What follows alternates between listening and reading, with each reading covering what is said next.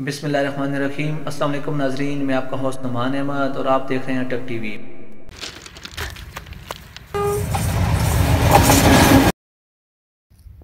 भाई, अभी तो स्कूल स्कूल भी खुल गए। जी, खुल गए खुल गए? मेरे भी खुल गए आपको स्कूल जाना अच्छा लगता है? बहुत। आपको लगता है? मुझे भी बहुत लगता है। मेरा दिल करता है, हर वक्त मैं स्कूल में हूँ तो पढ़ूँ।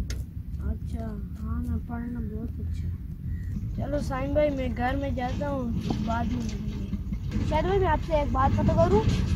आप कौन से रास्ते से जाते हैं? ऊपर रहने शायद भाई, मैं आपको एक बात बताता हूँ। साइम, मेरे दोस्त जिशान को ये मत बताना। मुझे पता है कि तुम्हारे दिमाग में क्या चल रहा है।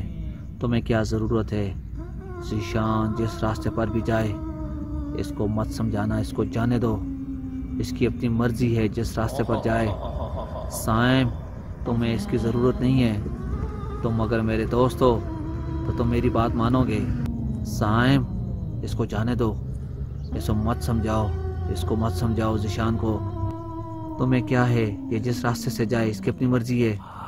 तुम्हें क्या ज़रूरत पड़ गई है कि तुम इसको बताओ? तुम इसको नहीं बताओगे। साइम, अगर मेरे दोस्त हो तो नहीं बताओगे। नहीं बताओगे नहीं बताओगे साइम नहीं नहीं मैं दिशान भाई को बताऊँगा। मैं शैतान को भी सबक सिखाता हूँ। अऊज़ु बिल्लाहि मिनश शैतानिर रजीम बिस्मिल्लाहिर रहमानिर रहीम दिशान भाई इस रास्ते से नहीं महफूज रास्ते से जाया करो। नहीं साइम ये रास्ता सही है। साइम भाई कुछ नहीं होता मैं जाता हूँ। ठीक है जैसे आपकी मर्ज़ी। ठीक है मैं जाता हूँ।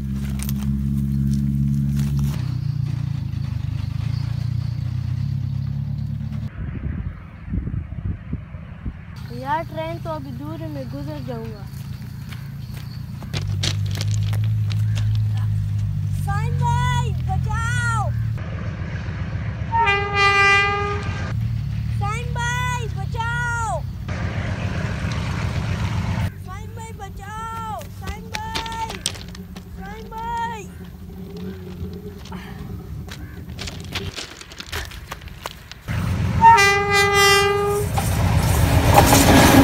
निशान भाई मैंने आपको बोले थे महफूज रास्ते से जाएँ।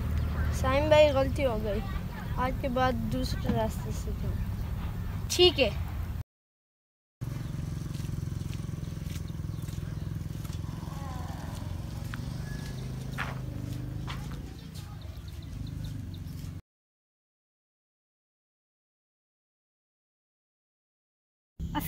नाज़रीन आज की इस वीडियो का मैसेज ये है कि हुकूमत ने जो आपको महफूज रास्ते बना के दिए वहाँ से गुजरे।